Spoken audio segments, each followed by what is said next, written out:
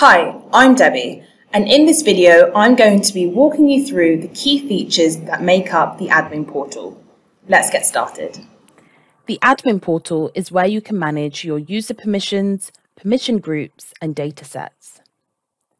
This view is only visible if you have admin access rights within the platform.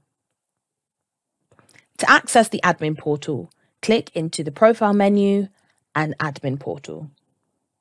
The Overview menu provides you a high-level overview of the users that have access to the platform, the group that that user belongs to, and the datasets they have access to. The Groups menu show you a list of groups available. Here you can create a new group, add a member to a new group or existing group, revoke membership, and assign datasets to a group. The user menu allows you to manage individual user access as well as view user details.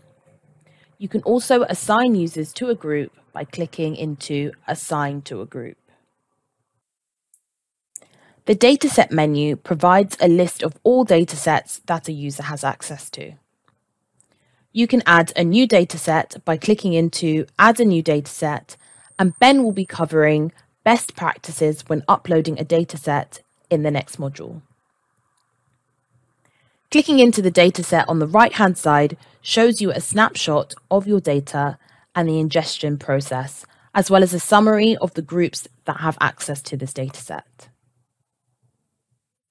And there you have it. You now know the key features that make up the admin platform.